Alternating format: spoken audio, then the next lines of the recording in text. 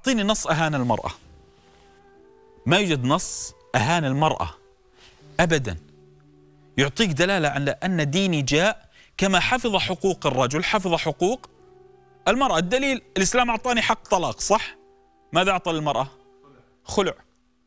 الإسلام أعطاني حق اختيار المرأة الزوجة. الإسلام ماذا أعطى المراه القبول موافقة. الإسلام أعطاني حق إن اختيار الزوجة ولأثبت صدقي. ماذا علي أن أعطي المرأة؟ المهر. الإسلام منحني حق آه، الأبناء ينتسبون إلي باسمي. وماذا أعطى المرأة؟ حق. إيه؟ الحضانه لا قدر الله إذا حصل الطلاق. بل الله عز وجل لما لما أخبرنا عن إكرام المرأة قال الرجال قوامون على النساء. ما هي تشريف تكليف؟ وظيفتك تعتني بالمرأة وتدير شؤون المرأة. لكن بشرطين بما فضل الله إيه؟ بعضهم على بعض وبما انفقوا من إيه؟ من أموالهم اصرف عليها. تريد أن تكون قيم عليها وما تصرف عليها تفقد نصف القوامة. حتى الطلاق. لو قال لها أنت طالق ماذا أعطاها الإسلام؟ مؤخر. ونفقة ونفقة متعة وما أعرف إيه وحضانة العيال. أنت حتى تتحمل التكاليف تحمل التبعات. هذه أسرة امرأة. لم تأتي من الشارع. انظروا للقرآن كيف كرم. نحن قرآننا هو المحرك الرئيسي لشرعنا لشريعتنا هو المهيمن. قرآننا هو الذي يعلو ولا يعلى عليه يحكم ولا يحكم عليه يفصل يفصل بالحق كتاب الله عز وجل ولا يفصل عليه. هذا قرآننا. إنه لقول إيه؟ فصل. إذا أردت أن تعلم تكريم الله للمرأة اقرأوا حقوق المرأة في سورة النساء.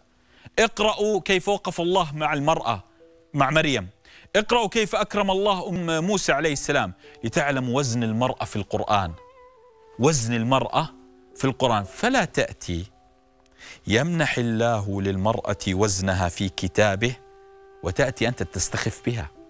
لا تأتي يمنح الله للمرأة كرامة في كتابه وأنت تريد أن تدسها. لا تأتي يسمي الله سورة كاملة بالنساء ومريم للمرأة وأنت تريد أن تستحي من اسمها.